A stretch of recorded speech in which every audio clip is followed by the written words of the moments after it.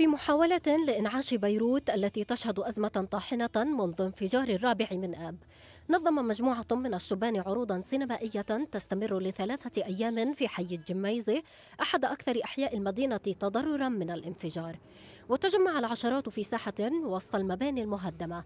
وجلسوا على مقاعد وأرائك ووسائد على درج حجرية من أنقاض مبان لمشاهدة أفلام تعرض على شاشة معلقة على جدار منزل لبناني تقليدي مدمر جزئيا. ونظمت العروض كذلك لجمع المال لإعادة بناء المنزل. حبينا أول شيء نعمل هيدا الشيء as fundraiser لأهالي هيدا البيت اللي تضرروا من من وراء الانفجار. آه، صحيح هو الدخولية 20000 واللي بحب يتبرع فيه يتبرع على الباب.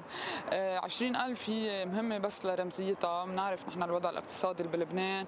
آه، وكل هال كل هالاخبار والتفاصيل بس إنه حبينا على القليل قد ما فينا نساعد نساعد. وتكون هيدي كمان شغلة طريقة to revive جميزة لنرجع الحياة لهيدي لهيدي المنطقة اللي كانت دايما تنبض بالحياة. ويأتي عرض الأفلام في سينما الجميزة في إطار مشروع أكبر باسم راجعين على البيت. تأسس لإنعاش حي الجميزة الذي كان يضج بالحياة وكذلك حي مار مخائيل بسلسلة من الأحداث. وقتل 200 شخص عندما انفجر مخزون ضخم من نترات الأمونيا في مرفأ بيروت بعد تركه دون إجراءات سلامة لسنوات. وأصيب الآلاف في الانفجار الذي دمر أحياء بكاملها.